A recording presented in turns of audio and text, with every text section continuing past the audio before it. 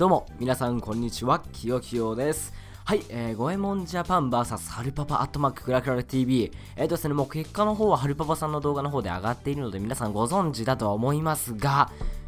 ゴエモンジャパンの勝利ということで、いや、非常に嬉しいですね。第3戦で私たち第1回目は引き分け、あの劇的な試合皆さんもですね、覚えていらっしゃるとは思うんですけれども、そして2回戦、15人対戦でやって、こちらがわずかな、えー、差で勝利、そして10人対戦、今回の試合で勝利することができました。いや、もう本当にね、もう最後、クラメンディ、うわ、来たーもう超喜んで、もう大盛り上がりだったんですけれども、えー、っとですね、もう本当に、テキスもうハルパパさんのクランもですね非常にうまくてですねえ時間切れですね。もうほぼ98%とか。そしてまあちょっとねハルパパさんのクランの方がちょっと1人の方がちょっと本当にえー、もう本当にちょ厳しい状況で、まあ、そのインすることができなくて、えまあ、18%というあ18%ではなくて、えー、18 2回の攻撃が残ってしまいました。まあですね今回こちらが96%であったりタウンホール9えー、82%か、うん、ちょっと82%はダメですけれども、こちら96%であったり、タウンホール10、アルパパさんの村をですね、98%であったりとかですね、結構その五右衛門ジャパンでこう、成長できた試合だったかなと思いますね。本当にもう楽しみ、楽しくてありがとうございました。ということで、まあ、一応ですね、まあ、報告という形なんですけれども、私のね、2回の戦、ちょっとアルパパさんの、これ、ちょっと一応見ておきますかね。えー、攻撃側、五右衛門ジャパン、孔明さん、そして、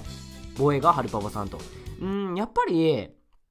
最近思ってきたのがタウンホール10でやっぱゴレ5とかゴレ6の安定感すごいなと思うんですよね。まあ、ゴレペッカとかも非常に安定するんですけれども、最近私なんかゴレ6とかにハマっていて、結構安定して取れるので好きですね。そしてこちらホグなんですよね、ホグ。まあでも、ちょっとそうですね、やっぱ時間切れで、この結果的にこの大工の小屋2つが残ってしまったんですね。なので、やっぱ今後の課題はしっかりとこう、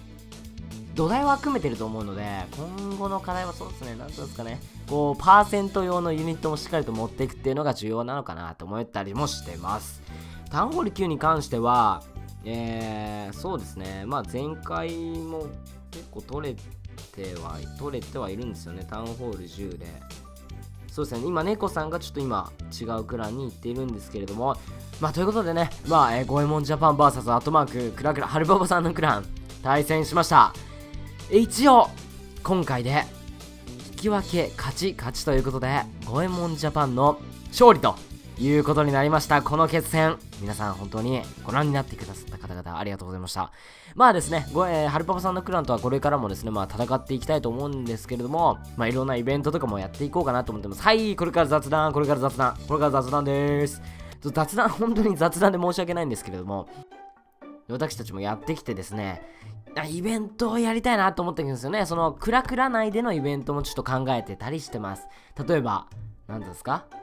うん。なんか、例えばその、まあね、トミーさん主催の、えー、ロジックドネイターズさんが結構前いらっしゃった、あのー、キノコドネイターズ VS タケノコドネイターズ。とかいう、そういう系の面白いようなタウンホール8の方も参加できるような、やっぱりタウンホール10だけでですと、皆さんがタウンホール10ってわけにはいかないので、やはりキノコドネイターズ、タケノコドネイターズのあの試合っていうのはタウンホール8からちゃんとですね、えー、ログインというか、